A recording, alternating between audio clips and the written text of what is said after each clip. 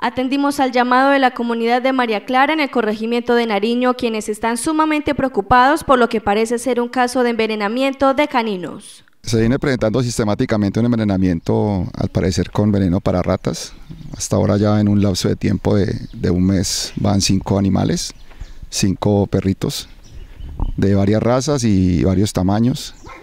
con un patrón de, área pues similar y, un poco alejado del último caso. Eh, pues son, los animalitos están sufriendo mucho porque es un veneno muy, muy, muy letal. Sufren bastante cuando, se, cuando tienen la intoxicación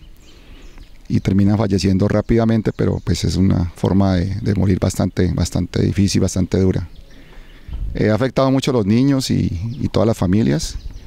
y queremos que hoy la gente sensibilice para que esto no, no, no, siga, no siga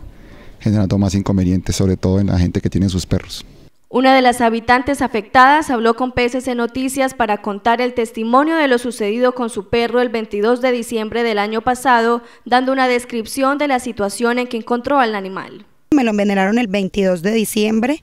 eh, lo encontré tiradito acá en el andén, que pues esa de allí es mi casa. Eh, lo encontré tiradito en el andén ya pues tiesito, eh, es un perrito que era de esta misma racita de pincher, ella es la mamá del perrito que me envenenaron y pues estamos muy tristes todos porque pues usted sabe que los animalitos hoy en día son familia para nosotros. Entonces estamos muy preocupados porque pues anteriormente sacábamos nuestras mascotas a pasear un rato por acá ahorita ya no podemos hacerlo con tranquilidad porque pues ya, eh, ya van cinco animalitos y yo creo que van a ser muchos más los que van a seguir envenenando. Cuando el perrito entró gritando, o sea, llorando bastante fuerte de dolor y cuando lo encontramos ya a los 15 minutos, él estaba tiradito ahí en el andén, eh, tieso, ya tiesito, tiesito, eso es como un veneno de ratas que los los entumece todo muscularmente, porque el perrito se encontraba como calientico, pero tieso, tieso, ya muerto. PSC Noticias también habló con el delegado de Secretaría de Salud del municipio de Tuluá para conocer la respuesta por parte de las autoridades a esta lamentable situación. Nosotros vinimos y hablamos con la comunidad advirtiéndoles de que en eh, un futuro caso que por favor no lo comuniquen para poder llevar el, canino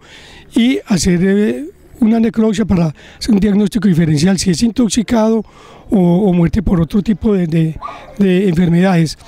La recomendación a ellos es decirles que por favor se unan, que envenenar los caninos es un delito, la ley 1774 da de dos a cuatro años de cárcel. Entonces reunirse y inmediatamente yo le voy a informar a Policía Ambiental que el Intendente Remolina es muy colaborador para que él haga rondas por acá y miremos a ver en unión de todos que podemos eh, salir adelante.